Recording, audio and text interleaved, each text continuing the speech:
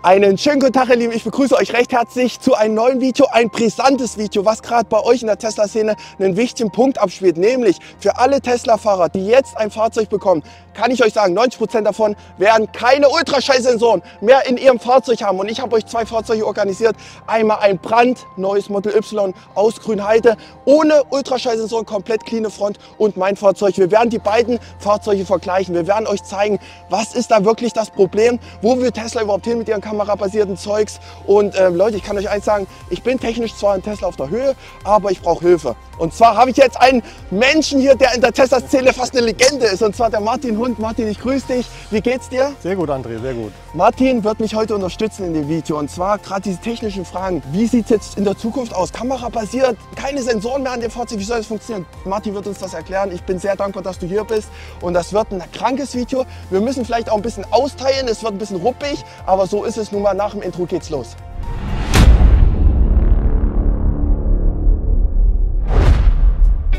Leute, bevor wir jetzt hart einsteigen in dieses Thema, möchte ich mich bei der kompletten Mannschaft, die heute hier ist, bedanken. Und zwar einmal Martin, vielen Dank heute auch für den ganzen Input, den du lieferst. Der junge Mann neben mir ist der Besitzer dieses Model Y und wir haben heute Sonntag 9 Uhr. Also das verdient schon Daumen und Like, dass wir hier jetzt hier stehen in der Kälte. Vielen Dank, dass, dass du konntest. Und natürlich das hinter der Kamera. Auch nochmal einen dicken Daumen, Kameramann hoch 10. Yo! Bevor wir den jetzigen Ist-Zustand der Model Y und Model 3 Reihe abdecken, wollen wir mal kurz über die Zukunft sprechen. Und zwar ist es so, dass Tesla ab 1. Oktober keine Ultraschallsensoren mehr in den Fahrzeugen verbaut. Das bedeutet, alle Tesla-Besitzer, die jetzt das Glück haben, dieses oder jetzt Q4 und dann nächstes Jahr ein Fahrzeug abzuholen, die werden keine Sensorik mehr bekommen. Das wundert euch vielleicht, weil Mercedes, eigentlich fast jeder Hersteller basiert auf Sensoren, oder? Tesla ist wieder so disruptiv und sagt, okay, nein, wir schmeißen die raus. Und ähm, das ist auch nicht verwerflich. Ich finde das auch alles gut. Was ich nicht gut finde, ist, dass der junge Mann zum Beispiel jetzt sein Fahrzeug bekommt, kriegt eine E-Mail an der Hand, hier, Ihr Fahrzeug hat keine Ultraschallsensoren, nehmen Sie es oder nicht. Und die dann allein gelassen werden. Einparkhilfe funktioniert nicht und so weiter. Kommen wir gleich im Detail nochmal zu. Fakt ist, wir haben ja ein Fahrzeug, eines der wenigen, die aktuell in Deutschland ausgeliefert werden. Ähm, oder was jetzt ausgeliefert wurde, war. Ja. Und das wollen wir euch alles mal im Detail zeigen. Wir bilden jetzt erstmal den Ist-Zustand ab. Und zwar ist das, wenn du mal hier rüber schwenkst, das ist mein Model Y. Wir sehen hier vorne einen Karton. Da oben sind Kameras, das wisst ihr ja. Hier sind die Ultraschallsensoren verbaut. Und Martin, du wirst mich bestätigen, die dienen gerade auf kurze Distanz Gegenstände zu erkennen, oder? Genau, die messen aber nur die Entfernung durch Schallwellen. Das heißt, sie senden Schallwellen, die man als Mensch nicht hört, weil sie ja. zu, zu, niedrig sind in der Frequenz, senden ja. die aus und die werden reflektiert und kommen zurück und das misst dieser Sensor. Okay. Und wie lange dieses Signal gebraucht hat und darüber kann man genau den Abstand errechnen, auf einen Zentimeter. Okay, auf einen Zentimeter sogar. Das heißt, ja. wenn der Karton jetzt hier steht, sagt das System dann zum Beispiel, ah, der Karton ist jetzt zum mhm. Beispiel 40 Zentimeter weg, zeigt dir das im Display an. Das ist der aktuelle Zustand und ihr müsst euch vorstellen, ich habe es im Video mit Ronny Golesch auf Elektro-Ronny ja auch erklärt, könnt ihr mal gerne mal reingucken, äh, wie das Ganze dann funktioniert und dass wir auch einen toten Winkel haben. Das wussten viele gar nicht. Das heißt, wenn der Karton zum Beispiel hier steht, eine gewisse Höhe nicht erreicht, wird auch hier nichts erkannt. Genau. Das heißt, äh, Totenwinkel haben wir hier auf jeden Fall auch jetzt schon. Aber es hilft natürlich, gerade wenn höhere Gegenstände sind, ungemein. Jetzt stellt sich natürlich für viele da draußen die Frage, ja, wenn ich jetzt meinen neuen Tesla abhole und der hat diese Sensorik nicht mehr verbaut, wie erkennt er das denn dann? Und da kommen wir jetzt zu wichtigen Punkt, den Tesla jetzt gerade dran ist zu entwickeln, der noch nicht fertig ist zum jetzigen Zeitpunkt, nämlich das Tesla Vision. Und Martin, Du wirst dazu vielleicht was sagen können. Tesla Vision bezieht sich auf Kameras, wa? Genau. Rein auf Kameras. Ähm, ich kann es mir persönlich nicht vorstellen, wenn ich ehrlich bin. Das ist für mich noch nicht vorstellbar, gerade ähm, wenn ich jetzt äh, davor laufe und es piept jetzt nichts. Wie, wie, wie kannst du das mal erklären den Zuschauern, wie das passieren soll? Ich meine, wo haben wir denn überhaupt Kameras an dem mhm. Fahrzeug? Also das Fahrzeug hat acht verschiedene Kameras und die nehmen die gleichen Positionen ein wie der Fahrer, wenn er guckt. Und zwar gibt es drei Kameras hier oben, die haben den Blick nach vorne. Und diese drei Kameras, die haben verschiedene spezielle Eigenschaften. Eine davon guckt besonders weit, die zweite so mittlere Entfernung und die dritte ganz kurze Entfernung. Und diese für die kurzen Entfernungen, die kann natürlich Gegenstände sehen, die quasi kurz vor der Schnauze von dem Fahrzeug äh, platziert sind. Dann gibt es noch zwei Kameras hier in den Kotflügeln, links und rechts. Diese hier, wo ich jetzt meine Hand habe. Diese Kamera, die hat den gleichen Blickwinkel wie der Fahrer, wenn er in den Außenspiegel reinguckt. Ja? Und dann gibt es noch eine weitere Kamera in der B-Säule. Und die guckt hier so schräg in die Seiten rein. Diese Kamera hat den gleichen Blickwinkel wie der Fahrer, wenn er an der Kreuzung steht und guckt links und rechts in die Kreuzung rein. Dafür ist diese Kamera. Und dann gibt es noch eine hinten, die ersetzt den Blick in den Innenrückspiegel. Also quasi das Gleiche, was der Mensch auch tun würde, wenn er Auto fährt. So funktioniert Tesla Vision. Und alle diese Kameras errechnen über einen intelligenten Computer ein Bild, was quasi die gesamte Umgebung des Autos in so einem 3D-Bild erfassen kann. Und das ist im Grunde genommen das Grundprinzip von Computer Vision bei Tesla. Es ist genauso, wie wenn der Mensch selbst fahren würde. Jetzt kommen wir aber zu dem Punkt, der mich ein bisschen, ich sag mal nicht böse macht, aber so unstimmig macht. War Martin, muss ich echt so sagen. Die Kunden kriegen jetzt das Fahrzeug hingestellt, haben keine Ultraschallsensoren, keine Einparkhilfe. Ihr seht das sogar selbst auf der Website, das blende ich euch gerade mal ein. Da sagt Tesla auch, ihr habt da einen Vergleich zwischen Ultraschallsensoren und Tesla Vision. Und dann seht ihr unten, dass Einparkhilfe demnächst kommt. So, finde ich persönlich aber ein bisschen ungeschickt gemacht einfach von Tesla, oder? Was sagst du, Martin? Ja, das ist schon richtig. Also es wäre eigentlich geschickter gewesen, wenn Sie erst die Software so nachgebaut hätten, dass sie das quasi kompensiert und dann erst die Sensoren weglassen. Dann hätten die Fahrer dieser Fahrzeuge eigentlich überhaupt keinen Verlust gehabt. Ja. Es wäre dann einfach nur besser geworden. Leider hat man sich entschieden, die Sensoren sofort wegzulassen. Vielleicht geht es um Produktionskosten. Äh, Die Teile, die brauche ich dann weniger. Ich habe andere Kabelbäume, weil ich weniger Leitungen habe. Also die sparen, die sparen pro Fahrzeug dadurch mehrere hundert Euro. Das kann man schon so sagen. Aber es wäre besser gewesen, wenn die Software erst gebaut worden wäre. Genau das Thema nicht. Wir hatten das schon mal. Ich kann, kann mich jetzt nicht erinnern, bei welchem Thema. Aber da war das auch so, Tesla hat erst was umgestellt. Die Kunden wurden teilweise gar nicht richtig abgeholt. Ich meine, wenn jetzt der Gedanke einfach, eine ältere Frau bestellt oder ein älterer Mann bestellt jetzt äh, so ein Tesla, ganz neues Modell, kriegt jetzt eine E-Mail, ja, denkt sich, oh, okay, beachtet das kaum und hat das Fahrzeug jetzt will zu Hause einparken und da piept's nicht. Bam. So einfach kann es dann gehen und es ist einfach ärgerlich. Ich finde, die Kunden müssen besser abgeholt werden. Das muss man einfach mal faktisch sagen. Das rede ich schon seit 2019, Martin, oder? Und ähm, ja, das ist einfach der Nachteil. Wir wissen, Tesla Vision wird schon im Autopiloten verwendet, aber für die Ultraschallsensoren ist es noch nicht verfügbar. Ka- Was denkst du, wie lange es dauern wird, bis die Kunden jetzt mal endlich eine adäquate Software geliefert bekommen?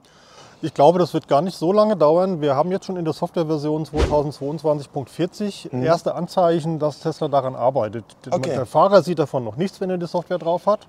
Aber wir wissen, dass es schon ein, ein neuronales Netz, so heißen diese Softwarekomponenten, die diese Bilder auswerten, die die Kameras aufnehmen, dass es schon ein neuronales Netz gibt, äh, was den Zweck hat, dass äh, die Abstände schon gemessen werden über die Kamerabilder. Aha, okay. Ja, und zwar okay. funktioniert das nach dem Prinzip, wie der Mensch das auch macht. Das heißt, man sieht etwas und wenn man sich bewegt, dann kann man die, die Abstände einschätzen, weil sich die unterschiedlich schnell bewegen. Mhm. Und äh, nach dem gleichen Prinzip macht das dieses neuronale Netz. Mhm. Und das erkennt dann die Abstände. Ich persönlich gehe davon aus, dass Tesla das jetzt schon eingebaut hat, um Daten zu sammeln. Und Okay. zwar die Fahrzeuge, die jetzt so wie deins oder seins, beide können ja schon Bilder sammeln. Und die werden dann nachts in ein Paket geschnürt, die werden zu Tesla hochgeschickt, die werden äh, verwendet, um den, den Computer, der das neuronale Netz trainiert, zu, Ja. zu speisen.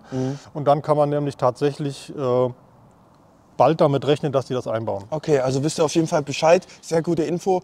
Äh, es muss zeitnah kommen einfach, weil ich weiß jetzt, jetzt kommen viele Model 3 Auslieferungen. Die ersten Schiffe kommen jetzt. Die haben teilweise noch Misch-Misch. Das heißt, manche haben Ultraschallsensoren. Stars seiner hat zum Beispiel noch welche. Dein neues Model 3 hat zum Beispiel keine. Und das, äh, das heißt, wir werden jetzt in naher Zukunft nur noch Fahrzeuge haben ohne Ultraschallsensoren. Und da muss die Software her. Die Software muss jetzt her, Leute. So Leute, jetzt kommen wir zum Thema, was uns gerade ein bisschen Nerven geraubt hat. Und zwar wollten wir euch demonstrieren, wie in meinem Fahrzeug im Prinzip die Ultraschallsensoren funktionieren. Und die Härte ist einfach wahr, Martin. Wir haben jetzt die Gegenstände da drüben ausprobiert, den Ball, den Karton und so weiter. Das hat es nicht erkannt. Es braucht eine gewisse Höhe bei den Ultraschallsensoren. Und jetzt seht ihr da einen Stas, der hat ein Stativ in der Hand und wird das jetzt mal da vorstellen und demonstrieren, was die Funktion von Ultraschallsensoren ist. Stars, bitte!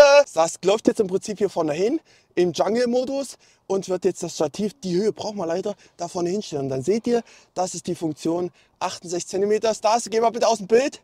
Und da seht ihr auch die Person, wie Stars jetzt aus dem Bild rausgeht. Und ihr seht, 68 cm ist im Prinzip das Stativ jetzt von uns weg. So, das ist die Funktion, die grobe Funktion von Ultraschallsensoren, oder? Ganz genau. Es ist Schrott. Es ist einfach Schrott. Das muss ich jetzt so sagen, war mir nicht bewusst. Wenn eine Fläche zum Beispiel tiefer ist, wie der Karton oder selbst der Basketball, können die Ultraschallsensoren es nicht erkennen und wir haben jetzt schon ein Problem. Genau. Muss man faktisch so sagen. Das ist der tote Winkel, dieser tote Bereich, war. Genau, die Ultraschallsensoren die sind relativ ungenau, die messen, die können nicht zählen, wie viele Objekte da irgendwo sind oder wie groß sie sind. Die sehen einfach nur in einem bestimmten Bereich, ist was oder ist nichts. Ja, eigentlich total stupid. Kann man echt so nicht anders sagen. Jetzt gucken wir aber mal, wie ist es bei dem neuen Brandenburger Modell. So Leute, wir sitzen jetzt hier in dem brandneuen Model Y ohne Ultraschallsensoren. Wir sehen, wenn wir jetzt die Grafik hier haben, im Prinzip mein Auto da drüben stehen. Das Stars steht da drüben. Erkennt er ultra gut, muss man sagen, obwohl er hinter Pfeiler ist. Und Stars kommt jetzt mal her und wir schauen uns das Ganze mal an. Achtet auf den Display. Dings ist oben, das Stativ ist oben und er kommt jetzt rangelaufen, sieht man auch sehr schön. Und jetzt stellt es dort ab und es passiert theoretisch nichts. Stars geht weg aus dem Bild, zack, und wir haben kein Piepsen, obwohl es die gleiche Distanz ist. Ihr seht es hier vorne. Das bedeutet, das ist der Nachteil, den wir aktuell haben, Ganz solange genau. wie das Software-Update nicht kommt. Wa? Ganz genau. Wenn das Software-Update da ist, dann wird jetzt im Prinzip dieses Objekt gesehen von den Kameras hier oben äh, hinter, der, ähm, hinter dem Rückspiegel. Und diese Kameras werden dann quasi die Abstandsmessung genauso gut oder sogar noch besser machen wie die Ultraschallsensoren bei den älteren Fahrzeugen das spricht einen guten Punkt an, Martin. Denn wie sieht es eigentlich aus in Zukunft, in ein paar Monaten, wenn wir Tesla Vision wirklich haben? Wie ist der Ausblick? Kannst du den uns gleich mal geben? Ich würde sagen, wir gehen jetzt noch mal raus. Ich habe noch eine Kleinigkeit raus. für dich, genau. Mhm. Und da schauen wir uns jetzt mal nämlich die Zukunft an von Tesla Vision. Ein paar Sekunden später. Bevor wir jetzt wirklich reingehen in die Zukunft von Tesla Vision, was Martin gleich euch erklären wird, äh, muss ich was loswerden. Und zwar, Martin ist jemand, der mich von Anfang an diesen Kanal begleitet hat. Da waren die meisten von euch noch nicht mal, die kannten mich noch nicht mal oder den Kanal. Und Martin, das war 2019, habe ich den Kanal entwickelt, da hieß der noch Team 3 Black Series. Da warst du beim ersten Klappstuhl-Treff schon dabei und hast mich supportet und so. Und das ist, ja, in Eschborn, genau. Und das ist einfach bemerkenswert. Deswegen habe ich dir ein kleines Mitbringsel mitgebracht. Wir haben bald Weihnachten oh. und ähm, habt ihr eine schöne Tasse mit eingepackt. Und zwar unserem Herrscher drauf ist da drauf. Wenn ich die mal kurz hier zeige, Martin, es ist einfach toll, hast du verdient, ja. Und ohne Mist, es, es, gibt nicht viele Menschen, die mich von Anfang an so gleich Support haben. Manche sind vielleicht auch abgesprungen, weil Martin ist immer dabei geblieben. Und das äh, liebe ich echt ohne Mist. Und ja, vielen Dank dafür. Ich danke dir. Und in diesem Sinne würde ich sagen, wir springen jetzt mal tief rein in den Stoff und sagen, wie ist der Ausblick jetzt wirklich ohne Ultraschallvision? Und der ist, muss man fairerweise sagen, nicht schlecht, wenn die Software kommt. Tesla Vision, die neue Ära bei Tesla. Wir haben jetzt die Fahrzeuge mal so hingestellt, wie ihr im Prinzip auch auf der Autobahn verwirtet. Warum? Das wird wird euch Martin jetzt mal erklären, welchen Vorteil doch Tesla Vision hat, wenn die Software da ist, war? Genau. Wenn die, die äh, Einparkhilfe nicht mehr mit Radarsensoren gemacht wird, sondern mit Kameras, dann ist das, klingt das erstmal ganz komisch und überhaupt nicht nachvollziehbar. Aber in der Wirklichkeit wird dieses System am Ende besser sein als der Ultraschallsensor, den wir heute haben. Wir haben ja vorhin gesehen, selbst diesen Karton mit dem Ball konnte der Ultraschallsensor gar nicht erkennen, weil der eine gewisse Höhe braucht. Und die kamerabasierte Technologie, die braucht eigentlich gar nichts. Die kann alles erkennen, was vor dem Auto ist und kann über die Geschwindigkeitsunterschiede der Fahrzeuge auch erkennen, wie groß der Abstand ist. Und darüber wird der Abstand genauso präzise gemessen wie mit dem Ultraschallsensor vorher. Und was noch viel wichtiger ist, wir haben ja vorhin gesehen, das Auto hat viel mehr Kameras. Das heißt, ich kann zum Beispiel auch an der Seite von dem Fahrzeug erkennen, ob da ein Objekt ist, wo bis jetzt überhaupt keine Ultraschallsensoren waren. Ja? Das heißt, ich habe einen viel größeren Umblick um das Auto herum. Und jetzt kommt aber eine Frage, die sich ganz viele Leute stellen. Wie kann denn diese Kamera hier hingucken? Das kann die doch gar nicht. Wie kann dann die Kamera sehen, dass da was ist? Und dafür wird Tesla sich was ganz Besonderes einfallen lassen. Und zwar, das Auto hat sich ja mal irgendwann dahin bewegt. Und es gab ja einen Zeitpunkt, als es noch weiter hinten war, wo die Kamera auch diese Stelle hätte erfassen können. Das heißt, wenn jetzt hier ein, ein, ein, zum Beispiel eine Begrenzung wäre, so ein Straßenpoller oder sowas, den könnte die Kamera jetzt nicht mehr sehen. Aber als das Fahrzeug an die Stelle herangefahren ist, da wäre er sichtbar gewesen oder er war sichtbar. Und das Fahrzeug, das merkt sich das einfach. Und zwar nicht nur den Abstand, sondern wirklich das Bild. Und dadurch kann das Fahrzeug auch quasi an Stellen hingucken, die in dem Moment jetzt gar nicht sichtbar ist. Ja. Das machen heute schon einige Fahrzeuge so, die so eine 360-Grad-Kamera haben wo das Kamerabild äh, zusammengerechnet wird. Und Tesla wird das noch sehr viel besser machen können durch diese drei Kameras. Und dadurch ist sichergestellt, dass auch Objekte von der Kamera erfasst werden, die jetzt gar nicht mehr da sind oder sichtbar sind. Also Leute, Martin hat es euch erklärt. Ein kurzes Fazit jetzt nochmal zum Abschluss. Der aktuelle Standpunkt von Tesla oder auch dem Kunden gegenüber ist scheiße wollen wir nichts schönreden oder sonst was. Wir wissen aber, dass in Zukunft, wenn Tesla Vision kommt, es richtig eskalieren wird. Und ich glaube, da werden wir Next Level erleben. Tesla ist manchmal so, dass die ihre Zeit brauchen, aber wenn es kommt, rasiert es einfach. Das kann man nicht anders sagen. War Martin Vielen Dank, Martin, dass du dabei warst und den Einblick den Zuschauern gegeben hast. Wirklich Danke, sehr nett. dabei sein durfte. Gerne. Ich denke, wenn ihr Bock habt, soll ich öfters mit Martin mal drehen? Sagt Bescheid, würde mich sehr freuen. Und in diesem Sinne, einen schönen Abend euch und wir sehen uns im nächsten Video. Macht's gut. Ciao. Ciao. 20 Minuten später. Ja, André, das nächste Video machen wir dann aber, wenn die Software dann da ist, oder? Stimmt, das ist eine sehr gute Idee. Da habe ich gar nicht dran gedacht. Das hätten wir jetzt eigentlich noch sagen können. Software, stimmt, wenn der Software-Update kommt, dass im Prinzip Tesla Vision dann auch vorne funktioniert, war. Genau. Sehr guter Punkt. Dann sagst du mir einfach Bescheid oder wir sehen es ja dann, wenn es kommt und dann quatschen wir einfach nochmal. Absolut. Gute Idee, Martin. Sehr gut.